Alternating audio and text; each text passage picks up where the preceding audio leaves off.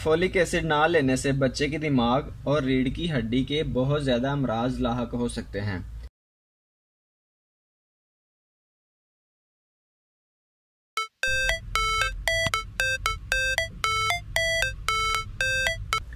बिसमीम अस्सलाम दोस्तों, कैसे हैं आप सब लोग? उम्मीद करता हूँ ठीक ठाक होंगे फिट फाट होंगे।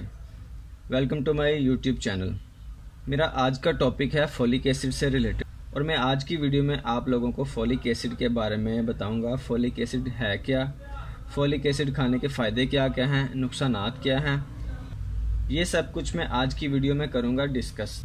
लेकिन आगे बढ़ने से पहले मेरी नए आने वाले दोस्तों से एक छोटी सी रिक्वेस्ट है कि अगर किसी ने मेरा चैनल सब्सक्राइब नहीं किया तो पहले चैनल को करें सब्सक्राइब और साथ ही बेल आइकन भी प्रेस कर दें, ताकि आपको मेरी इस तरह की अच्छी अच्छी वीडियोस मिलती रहें।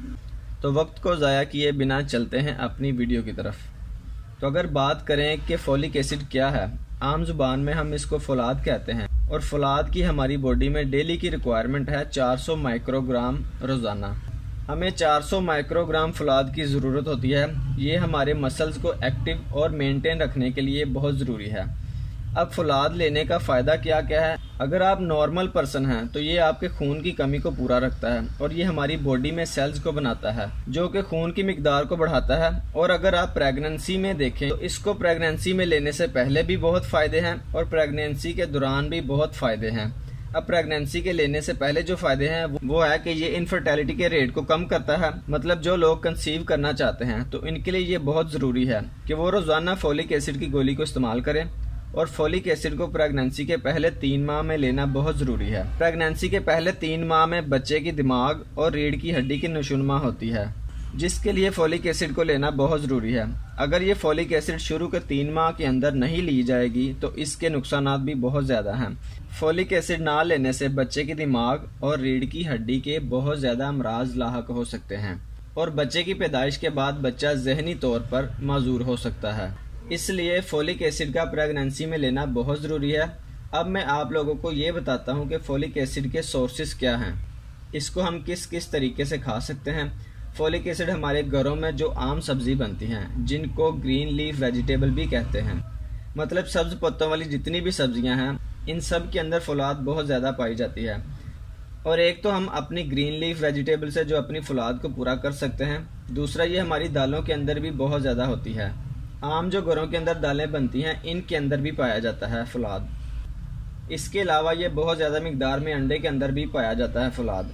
और इसके अलावा ये लोबिया जो होता है, इसके अंदर भी बहुत ज़्यादा मकदार में फुलाद पाया जाता है। अगर आप लोगों के जहनों के अंदर ये बात चल रही है कि दूध के अंदर भी तो फोलिक एसिड पाया जाता होगा तो ऐसा बिल्कुल नहीं है। दूध के अंदर फौलाद नहीं होता। एक बहुत अहम बात आप लोगों को बताता चलूँ कि अगर आप लोगों ने फोलिक एसिड की गोली खानी है तो इसको दूध के साथ बिल्कुल नहीं खाना। इसके बहुत ज़्यादा नुकसान हो सकते हैं। वो आपको ना तो दूध ही हजम होने देगा और ना ही फौलाद की कमी को पूरा करेगा। ये सब चीज़ें हैं जो हमें हमारी नॉर्मल रूटीन में मिल जाती हैं इजीली। इसके अलावा प्रेगनेंसी में इन सब चीज़ों के अलावा हमें फुलाद की गोलियों की भी ज़रूरत पड़ती है। हमें वो गोलियाँ भी लेनी चाहिए, जिसको हम कहते हैं सप्लीमेंट्स एक तो प्रेगनेंसी में माँ की रिक्वायरमेंट ज़्यादा बढ़ जाती है बॉडी की रिक्वायरमेंट ज़्यादा हो जाती है बॉडी में फुलाद की रिक्वायरमेंट ज़्यादा बढ़ जाती है। तो फुलाद की कमी को कैसे पूरा किया जाए? ये सब सब्ज़ियाँ और ये जो दालें मैंने आप लोगों को बताई, ये अपनी डेली रूटीन में लाजमी इस्तेमाल करें। इनसे आपकी फुलाद की कमी काफ़ी हद तक कम हो जाएगी। इसके अलावा माँ के लिए फोलिक एसिड जो टैबलेट्स होती हैं, वो भी बहुत ज़रूरी हैं, वो भी इनको इस्तेमाल करनी चाहिए। तो ये थी मेरी आज की एक छोटी सी फोलिक एसिड से रिलेटेड एक वीडियो उम्मीद है आप लोगों को पसंद आई होगी। तो अगर ये वीडियो मेरी आपको पसंद आई है तो इसको लाइक करें शेयर करें और कमेंट करके अपनी राय का इजहार लाजमी करें। तो कल एक और नई वीडियो के साथ हाजिर होंगे। मुझे दें इजाज़त। अल्लाह हाफिज़। फ़िया मानिल्ला